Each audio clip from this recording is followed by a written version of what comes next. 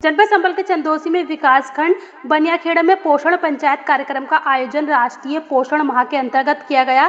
कार्यक्रम के अंतर्गत कुपोषित बच्चे, गर्भवती महिलाएँ, धात्री महिलाएँ तथा किशोरी बालिकाओं व बच्चों का प्रबंध, पोषण वाटिका, सुपोषण के लिए योग व आयुष का महत्व समाज कल्याण विभाग द्वारा चलाई जा रही योजनाओं तथा पोषण माह के सप्ताह कार्यक्रम के विषय से संबंधित विभागीय अधिकारियों द्वारा जानकारी दी गई।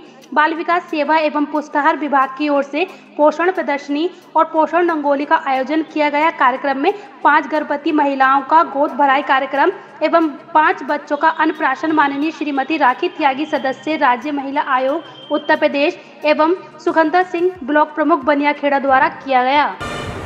मैम आज जो ये पोस्टार माह का कार्यक्रम हुआ है इसके बारे में आप क्या कहना चाहेंगी? मैं ये कहना चाहूँगी कि सरकार द्वारा ये जो पहल है पोषण आहार की वो पुष्ट आहार जब होगा तभी बच्चा सुरक्षित रहेगा और हमारे देश का विकास होगा।